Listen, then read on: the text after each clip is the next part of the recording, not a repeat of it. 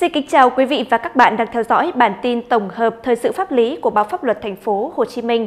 Bản tin tối nay, ngày 23 tháng 12 năm 2021 sẽ có những thông tin đáng chú ý sau đây. Ngày 23 tháng 12, cả hai bến xe lớn ở thành phố Hồ Chí Minh là bến xe miền Đông và bến xe miền Tây đã công bố kế hoạch phục vụ Tết Nguyên đán 2022. Thời gian phục vụ Tết dự kiến từ ngày 22 đến 31 tháng 1 2022, tức ngày 20 đến 29 tháng Chạp. Trao đổi với phóng viên, lãnh đạo bến xe miền Đông cho biết, dự kiến dịp Tết nhâm dần, trung bình có khoảng 16.000 lượt khách qua bến mỗi ngày, giảm 41% so với cùng kỳ năm trước. Những ngày cao điểm có thể lên đến 20.000 đến 22.000 khách. Sản lượng dự báo như trên là kỳ vọng nếu dịch bệnh được kiểm soát tốt, nếu không sẽ còn tiếp tục giảm sâu. Năm nay là một năm rất khác so với mọi năm, Ảnh hưởng dịch bệnh khiến đời sống kinh tế người dân gặp nhiều khó khăn, nên bến xe khuyến khích các doanh nghiệp vận tải không tăng giá vé. Trường hợp tăng giá vé thì phụ thu không quá 40% đến 60% để bù chiều xe chạy rỗng. Việc tăng giá vé sẽ áp dụng tùy mức theo chặng đường, thời điểm đi lại. Lý giải nguyên nhân lượng khách năm nay giảm, vị lãnh đạo này cho rằng trước đó một lượng lớn người dân đã về quê. Ngoài ra do lo ngại biến chủng mới Omicron nên nhiều người sẽ cân nhắc kế hoạch về quê Tết năm nay. Bên cạnh đó, Mỗi địa phương có cách phòng chống dịch bệnh và cách ly người về từ thành phố Hồ Chí Minh khác nhau, nên nhiều người dân ngại về quê bị cách ly 7 ngày. Ngoài ra, theo lãnh đạo bến xe miền Tây, thời gian cao điểm đi lại tập trung các ngày từ 29 đến 30 tháng 1 2022, tức ngày 27 đến 28 tháng Chạp. Lượng khách bình quân đạt khoảng 22.000 đến 27.000, giảm từ 30% đến 40% so với cùng kỳ năm trước. Do đặc thù các tuyến về miền Tây có cự ly ngắn, khách tập trung đến bến mua vé những ngày giáp Tết nên bến sẽ phục vụ 24 trên 24 giờ vào thời gian cao điểm. Giá vé áp dụng tăng tối đa 40% trong 6 ngày, gồm 4 ngày trước Tết và 2 ngày sau Tết, tức từ 26 tháng Chạp đến mùng 2 Tết. Bến xe tổ chức bán vé trước cho khách từ ngày 12 tháng 1 2022, tức mùng 10 tháng Chạp, tại các quầy bán vé trong bến và các kênh thông qua tổng đài, website các hãng xe.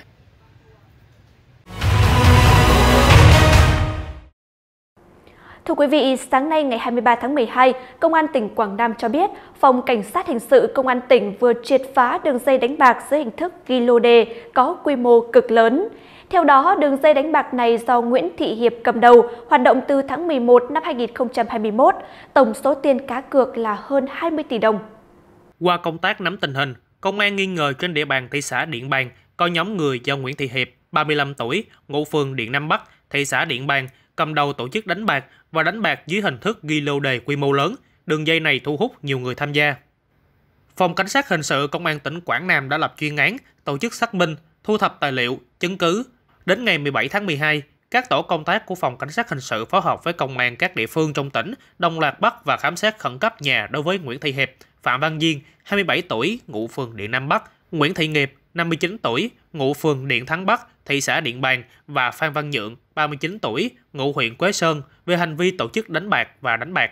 Qua khám xét, công an thu giữ tăng vật gồm 9 điện thoại di động, một máy tính bảng và nhiều đồ vật, tài liệu liên quan. Tại cơ quan công an, những người này khai nhận bắt đầu tổ chức đánh bạc và đánh bạc từ đầu tháng 11 2021 đến khi phát hiện tổng số tiền cá cược trên 20 tỷ đồng. Hiện vụ án đang được tiếp tục điều tra mở rộng.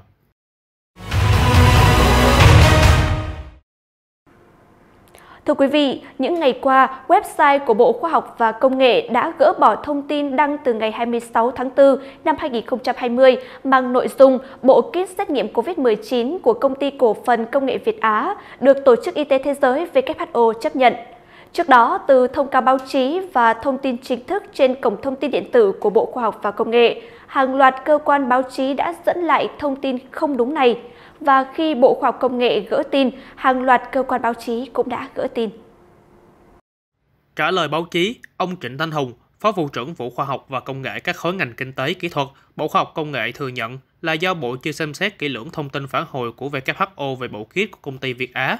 Ông Hùng cho biết WHO chỉ mới chấp thuận đưa kit test này vào quy trình đánh giá xem xét sử dụng, không phải chấp thuận sử dụng và đây là sơ suất của Bộ Khoa học Công nghệ. Việc đăng thông tin không chính xác về bộ kit test của công ty Việt Á vi phạm và sẽ bị xử lý như thế nào?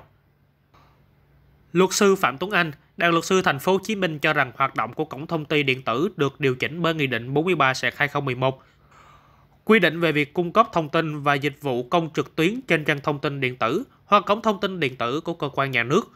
Khoảng 3 điều 4 Nghị định 43/2011 xác định Thông tin đăng tải trên cổng thông tin điện tử của cơ quan nhà nước là thông tin chính thống của cơ quan nhà nước trên môi trường mạng.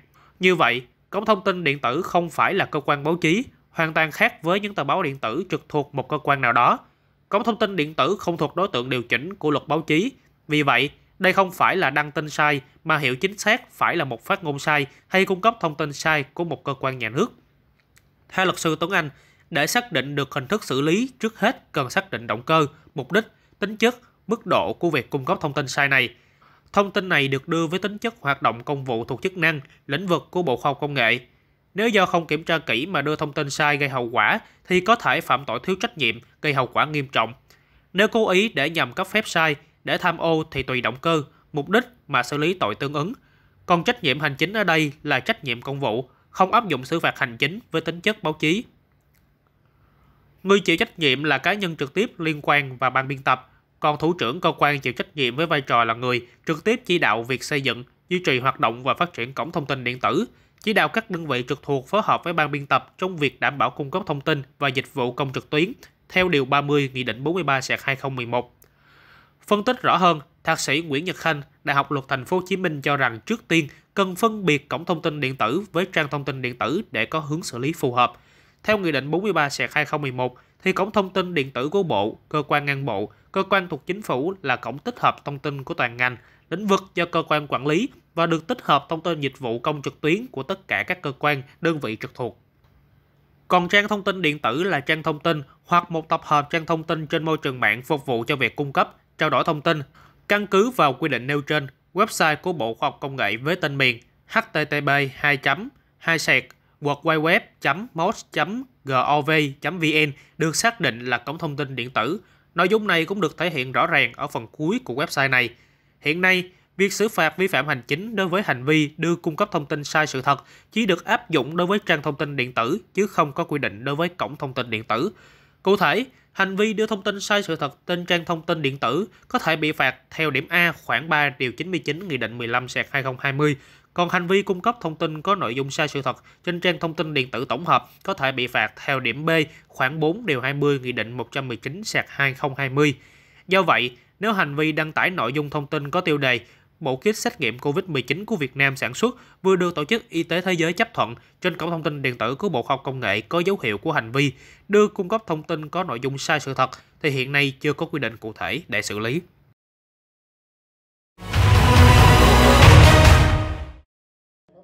Sáng nay 23 tháng 12, tỉnh Cà Mau tổ chức họp báo thông tin sự cố cầu qua sông Cái Đôi Vàm, huyện Phú Tân, tỉnh Cà Mau bị lún sâu và sập hôm 21 tháng 12 2021.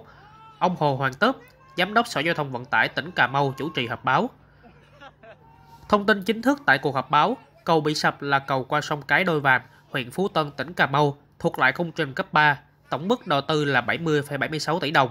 Trong đó, phần xây dựng công trình là 37,3 tỷ đồng, vốn ngân sách tỉnh Cà Mau Chủ đầu tư là Ban Quản lý Dự án Xây dựng Công trình Giao thông Cà Mau, tổ chức tư vấn khảo sát địa hình, lập dự án là Công ty Cổ phần Tư vấn Xây dựng Minh Hải, tổ chức tư vấn, khảo sát địa chất là Công ty Cổ phần Tư vấn Đầu tư Xây dựng An Phú, cơ quan thẩm định, phê duyệt thiết kế bản vẽ thi công là Sở Giao thông Vận tải tỉnh Cà Mau, nhà thầu xây dựng là Công ty Cổ phần Tập đoàn TPM, nhà thầu giám sát thi công xây dựng là Công ty Cổ phần Tư vấn Xây dựng 533 phía Nam. Ông Trần Hải Âu, Phó Giám đốc Ban Quản lý Dự án Xây dựng Công trình Giao thông Cà Mau. Đơn vị chủ đầu tư dự án thông tin về diễn biến sự cố sập cầu cái đôi vàm. Theo đó, ngày 20 tháng 12 2021, nhà thầu cho thi công bệ chống va đập cần trụ số 7. Và hôm sau, sáng ngày 21 tháng 12 2021, một trụ cầu bắt đầu lún.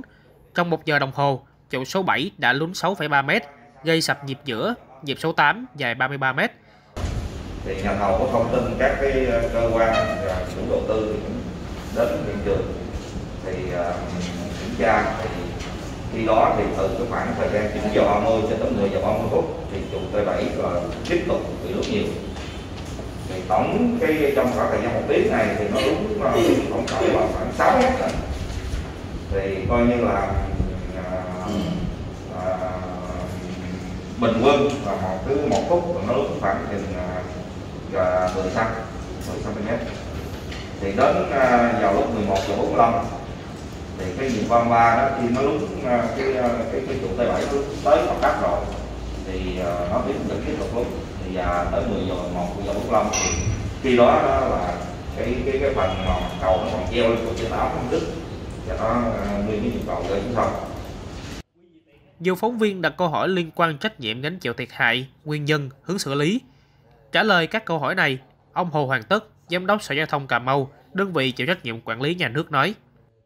Nếu mà thiệt hại nhà nước thì nếu không lỗi nhà nước thì sẽ nhà chịu.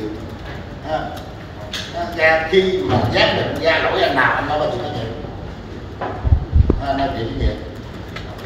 Đó, công trình là theo cái cảm nghĩ của tôi nha, chứ không phải là là, là, là, là nói đây là là căn cứ đó thì chưa chưa làm hết cảm nghĩ tôi công trình thiệt hại này thì tôi nghĩ ngân sách nhà nước và sẽ không bỏ ra để hoàn trả lại công trình mới như như cái thiết kế đảm bảo về sau này một số phóng viên đặt câu hỏi về năng lực của nhà thầu, thiệt hại đã xảy ra, có khoan địa chất hay không? Thì em có nghe thông tin cái đơn vị thi công là TVE thì trước đây là nghe nói là cái đó có phải là trùng với cái chỗ công ty sử Thạch Phú ngày xưa thi công cầu đô hay không? À, mong các anh làm rõ giúp em.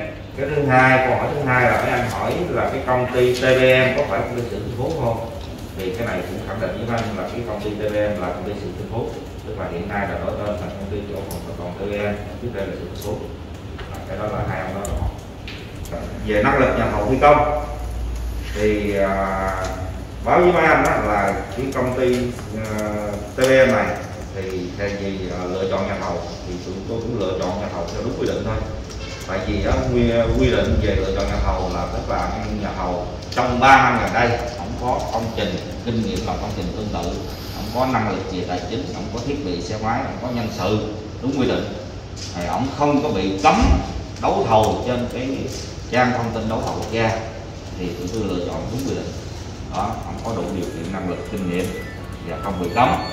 Đó, cấm là sẽ thông tin trên chân đấu thầu quốc gia không này không bị cấm. Vậy mấy anh hỏi đó là cái gì cọc này là cọc than nhồi hay là cái ờ, cọc đóng? Thì xin thưa với anh là cái cọc công trình này và cái cầu về ngang nó cũng nhỏ. Và cái thiết kế đưa ra là cái cọc đóng. Và cái cọc là cái cọc bê tông cốt thép ly tâm giữ ứng lực là đường kính là D 35 cm và chiều dài của mỗi cây cầu là 38 m mà trong cái trụ T7 này đó là nó có tổng cộng là 15 cọc D35 dài 38 m thứ ba là mấy anh hỏi là thiệt hại về thiệt hại. Thì hiện nay báo với anh về thiệt hại thì uh, tụi tôi uh, trước mắt là tụi tôi tính những cái công trình mà nó hư cái phần à, hạng mục nó hư hỏng. Chẳng hạn như cái dòng 33 này cái nhịp 33 này cái trụ T7 nè rồi cái à, ở dưới là hai cọc nè và những cái nhịp uh, uh, treo ở trên thì uh, là tôi tính những cái à, thiệt hại mà nó đổ xuống đó thì là 2,21 tỷ đồng. Kết thúc buổi họp báo, ông Nguyễn Văn Đen, Phó Giám đốc Sở Thông tin và Truyền thông tỉnh Cà Mau khẳng định khi có kết quả điều tra sự cố sẽ cung cấp đến báo giới bằng các hình thức phù hợp theo luật định.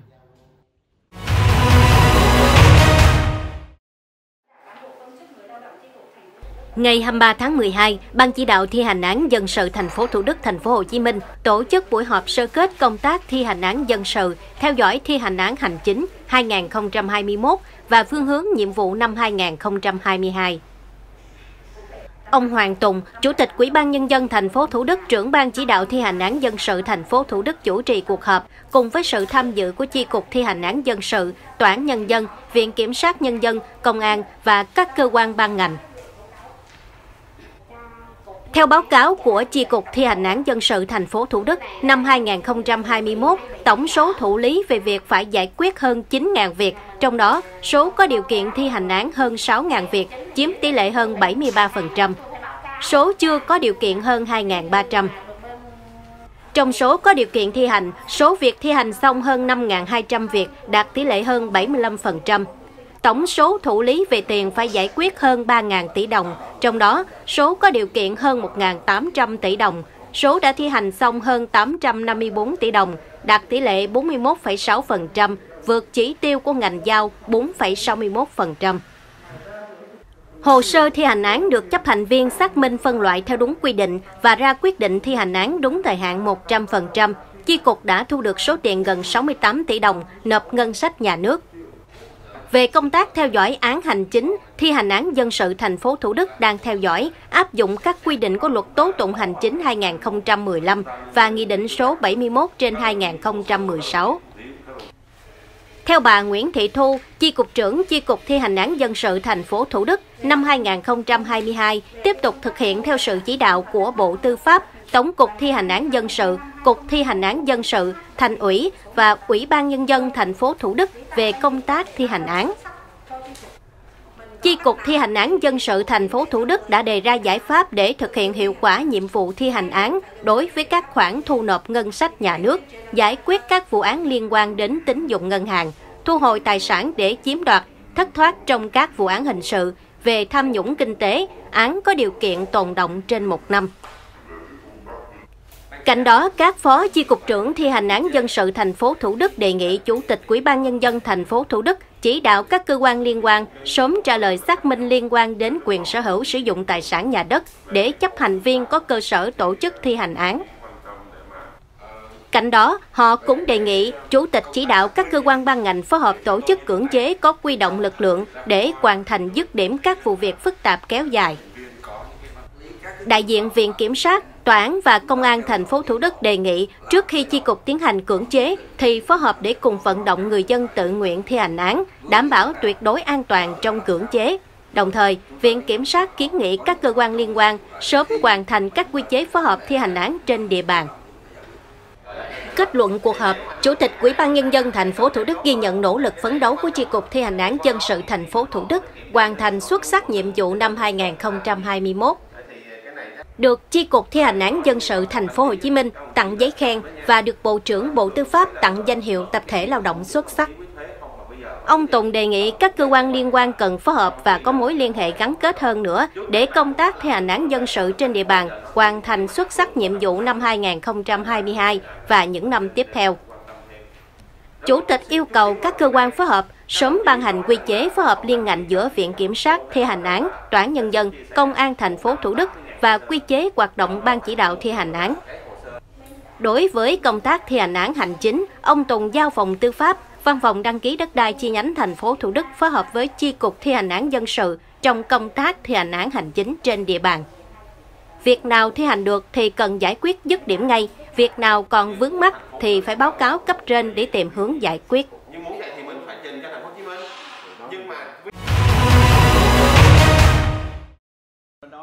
Ngày 23 tháng 12, Công an huyện Củ Chi, thành phố Hồ Chí Minh lập hồ sơ điều tra truy xét vụ trộm đột nhập vào nhà dân, lấy đi số tài sản giá trị lớn trên địa bàn.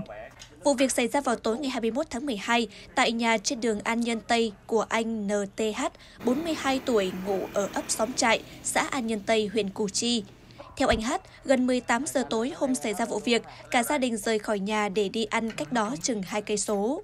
Theo đó, vợ chồng anh Hát phát hiện cửa nhà bị bẻ khóa, kẻ trộm đã lục tung hai phòng ngủ, lấy đi số vàng khoảng 8 cây. Gia đình cho biết, từ thời điểm dịch bệnh đến nay, đây là lần đầu cả nhà ra ngoài đi ăn thì xảy ra vụ trộm. Hình ảnh từ camera an ninh cho thấy có người đã rình rập bên trước và đi vào nhà bằng lối vượt qua tường rào lưới B40. Theo chị NTN, 44 tuổi, vợ của anh Hát, số vàng bị mất là tài sản được hai vợ chồng tích cóp trong suốt 15 năm dòng để lo cho con cái. Gia đình anh Hát cũng bày tỏ lo lắng vì thời gian qua, khu vực xảy ra một số vụ trộm với cách đột nhập rất liều lĩnh, táo tợn. Theo lãnh đạo Công an huyện Củ Chi, vụ việc đang được các đội nghiệp vụ của đơn vị điều tra truy xét.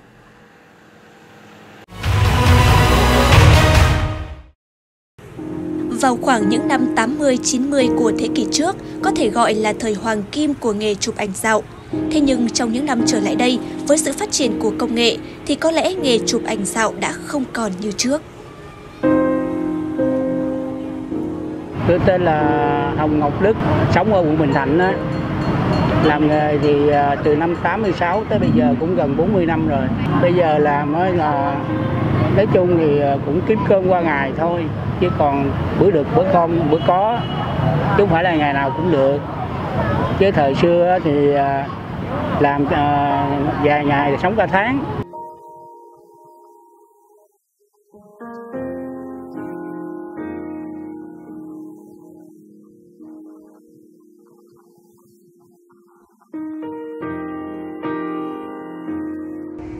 Ngày trước đi đâu cũng dễ dàng bắt gặp hình ảnh của những người thợ chụp ảnh dạo, nhất là những nơi như các địa điểm tham quan hay các khu du lịch. Nhưng giờ đây có lẽ sẽ khó thấy được những hình ảnh đó vì đa phần họ đã chọn cho mình những hướng đi khác. Chỉ còn sót lại vài người với niềm yêu nghề ra diết đã trụ chân cho đến ngày hôm nay. Với họ, giờ đây chụp ảnh không phải vì tiền, vì mưu sinh nữa, mà họ làm vì chính cái đam mê của mình. Cái nghề mình làm lâu rồi, bây giờ cứ ôm máy ra thì làm thì ờ, có lúc có, có lúc không vậy thôi à. Bây giờ có điện thoại thông minh nhiều quá, khách hàng người ta ví dụ như vui vui thì nó chụp một tấm. Chứ không phải như hồi xưa. Gặp cái dịch này thì uh, vấn đề mà tài chính người ta cũng hạn chế lại người ta tiêu xài bớt lại. Rồi cái lượng người đi chơi nó cũng ít lại người ta sợ nó không dám đi á. Đâm ra mình làm nó còn khó hơn lúc trước. Cái nghề này chỉ sống ở nó từ lúc uh, thanh niên tới giờ nó cũng là cái đam mê của mình luôn nó vừa là cuộc sống mà vừa là cái đam mê. Không có từ bỏ. Cứ cứ thế mà làm. Chấp nhận nó thôi. Tôi yêu nghề tôi không có bỏ nghề được. Giờ bây giờ khó khăn gấp mấy cũng mình cũng gắn bó thôi. Tôi cũng gắn bó thôi. Sự xuất hiện của công nghệ, của những chiếc smartphone chính là nguyên nhân dẫn đến nghề chụp ảnh dạo dần bị lãng quên. Và đó cũng chính là cái khó khăn của người chụp ảnh dạo. Thế nhưng họ vẫn kiên quyết không từ bỏ, bởi với họ, nghề chụp ảnh chính là cuộc sống của họ.